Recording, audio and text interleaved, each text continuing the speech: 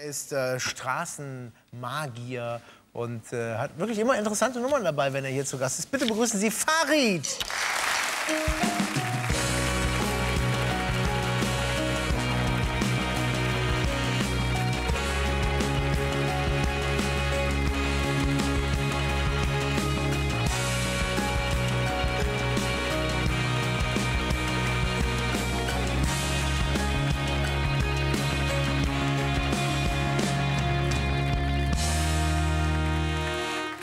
Als Straßenmagier hört sich so scheiße an. Wie- Streetmagier ist besser, oder? Genau, Street Magician. genau. Also es geht eher um die Magie vor deinen Augen, in deinen Händen, anstatt darum, auf der Straße zu stehen mit dem Hut. Das ist also weniger. Du arbeitest direkt nah an den Leuten. Ja? Mhm. Du bist nicht so einer wie, wie, weiß nicht was, wie hier Hans Klock, der push, und dann zersägt- wird eine Frau zersägt und dann ist sie doch noch. Genau. Ich versuche halt nicht so nah, so weit weg zu sein beim Publikum. Auch in der großen Live-Show, die ich spiele, gibt es überall Kameras, überall Videoübertragungen. Viele Zuschauer sind auf der Bühne oder ich bin mitten im Publikum. Okay. So, mit was möchtest du mich heute veräppeln? Ach was, das ist doch nur Unterhaltung. Du sollst noch mal zum Kind werden. Okay, also ein Kartenspiel. Ein Kartenspiel. Äh, sag mir mal bitte irgendeine Karte, die du siehst. Du musst also keine ziehen, einfach Hier, äh, äh, äh, ist eh egal, ist eh egal, was, funktioniert immer. Ich nehme die, äh, ganz bescheiden nehme ich jetzt die zwei. die hier. Ja, die zwei mit dem Pick. Pick 2. Super, dann möchte ich dich bitten, den Stift zu nehmen und ein Edding und einfach mal deinen Namen drauf zu schreiben. So, jetzt muss ich mal aufpassen. Also ich habe jetzt einen Stift bekommen. So, in diesem Kartenspiel habe ich, hab ich, hab ich bisher keine Karte äh, in der Hand gehabt. Ich wusste auch noch nicht mal, dass du das mit mir machst. Jetzt hast du mir eine Karte aus diesem Kartenspiel gegeben. Einfach mal auf die. Einfach mal deinen Namen draufschreiben. Das ist eine ganz normale Karte. Alles, alles ganz normal. Jetzt schreibe ich hier meinen Namen drauf, ja? Hier. Ja? Groß drauf.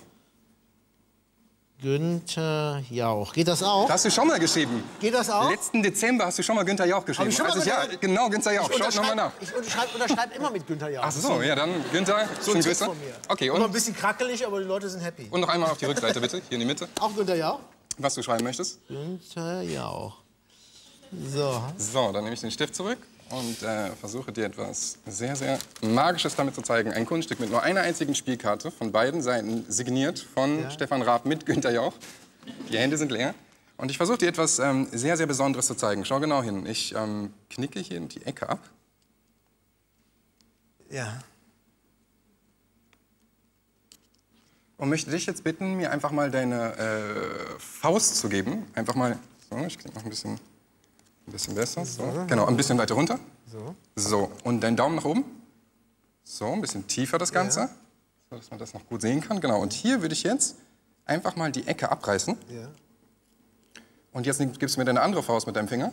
Genau, und hältst die Ecke fest. So. Ja, und reißt selbst Ja. die Ecke ab nach unten. Du hast es jetzt selbst gespürt. Ich habe selber Du hast es selbst gespürt, dass gerissen, du hast es selbst gesehen und das ist auch wirklich Ja. die Ecke.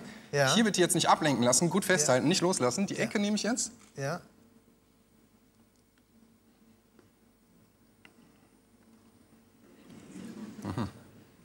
Wir sehen die Unterschrift von Stefan mit Günther Jauch, die Ecke. Die isst sie jetzt auf, ne? Schluckst du auch runter? Mhm. So. Schmeckt? Geht. Nicht loslassen jetzt. Ja.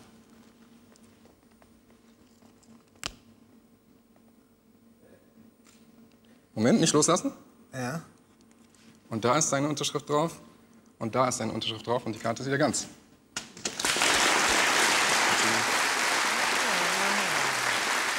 Ja.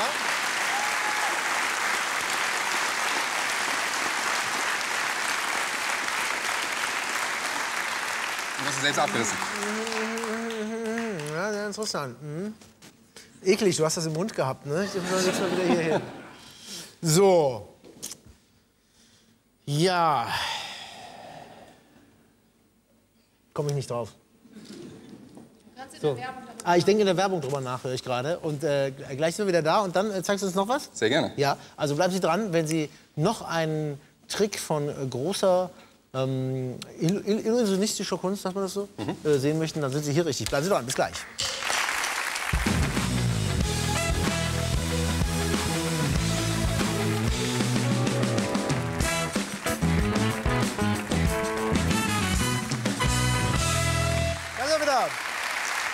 Zurück mit Farid Du bist auch auf Tour und so in der, in der, in der ganzen Republik. Mhm. Ähm, was, was, was machst du noch außer so, so Kartentricks? Du machst ja auch so, machst du so Gedankenübertragung und so ein Zeug? Auch, auch ein bisschen was Mentales. Also ich versuche das Repertoire natürlich immer so weit wie möglich zu fächern. Also von der riesengroßen Bühnenshow bis zum kleinen Theater, bis zu einer Restaurantshow oder ein Matching Unplugged äh, in, in ausgewählten Bars, wie hier im 51 in Köln, ein, einmal im Monat. Ja, und da ist für jeden was dabei. Aha. Dann zeig uns doch noch mal was. Okay, sehr gerne. Dann bleiben wir gleich mal beim mentalen Thema. Ja. Und zwar möchte ich, ich habe auch ein bisschen auf Karten rumgekritzelt. Ich habe jetzt nicht mit Günter Jauch unterschrieben, aber ich habe gestern ein Kartenspiel genommen und habe es komplett und wild durchgemischt. Dann habe ich mir den Edding genommen und habe von oben nach unten die Rückseiten ganz groß durchnummeriert. Das heißt ganz oben die 1, die zweite Karte die 2, die dritte die 3. Die Frage ist jetzt, wenn das Spiel ja durchgemischt ist, welche Karte verbirgt sich hinter welcher Nummer? Und da kannst du mir vielleicht helfen, wenn du einmal ein freies Blatt nimmst, sehr gut, und einen Stift, kannst Ja. du Stein nehmen, und ich dir jetzt einfach mal was in den Raum werfe und du mal ein Gespür dafür entwickelst und eine, eine These, eine Theorie, welche Karte oder welche Zahl sich immer dahinter verbirgen könnte. Zum Beispiel, wenn ich dich anschaue und würde jetzt sagen, Pik Ass.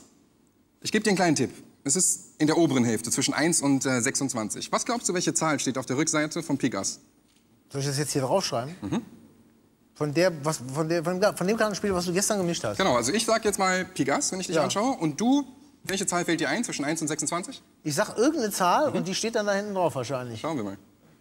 Kommt drauf an, ob du äh, richtig liegst. Wenn nicht, hast du das natürlich verkackt. Was soll Nein, ich das Spaß. wissen? Ich, ja, ich, ich, ich rate ja einfach äh, drauf los. Dann schau mal, wie gut du bist. Pik Ass. Ich sag Pik Ass. Welche Ja. Zahl sagst du? Es ist in der oberen Hälfte, 1 bis 26.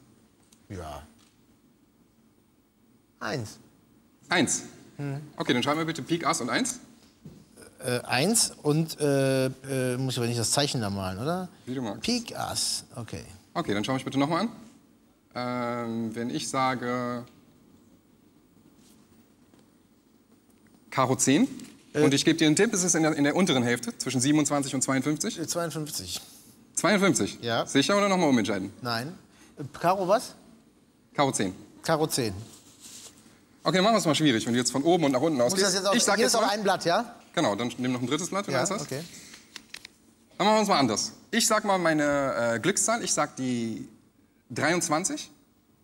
Und du sagst mir, welche Karte draufsteht auf der 23. Irgendeine Spielkarte. Äh, Karo 1.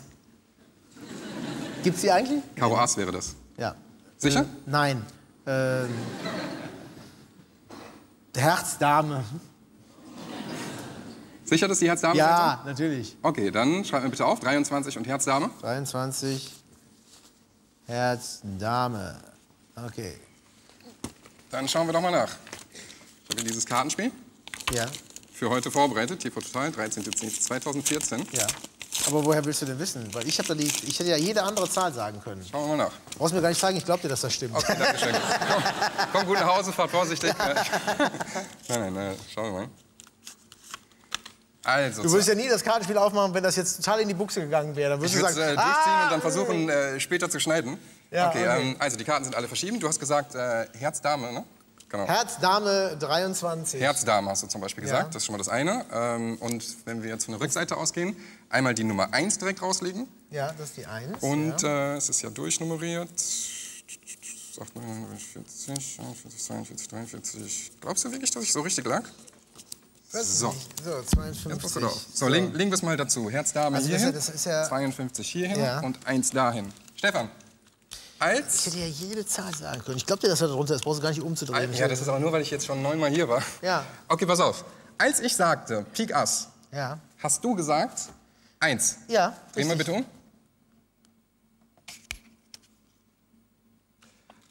Als ich sagte... Pik Ass. Und ich habe Ist immer, und ich immer zuerst gesagt. Ich habe nicht abgewartet, was Stefan sagt, sondern äh, ich habe gesagt Karo 10 und da hast du gesagt 52. Ja. Und da ist auch die Karo 10. Und dann haben wir es mal schwieriger gemacht, weil du ja immer von oben nach unten gegangen bist. Ich habe einfach mal was in der Mitte genommen, die 23 und du hast Ja. gesagt Herz Dame. 23 stimmt auch. Ja. So.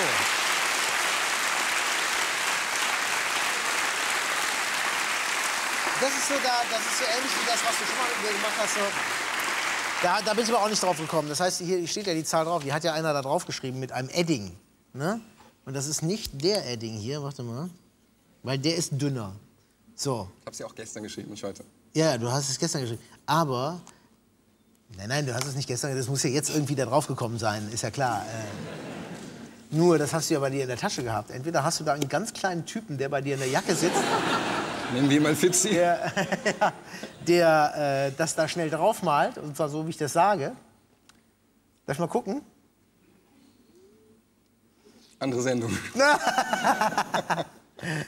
Okay, da sitzt also ein kleiner Typ da unter deiner Jacke.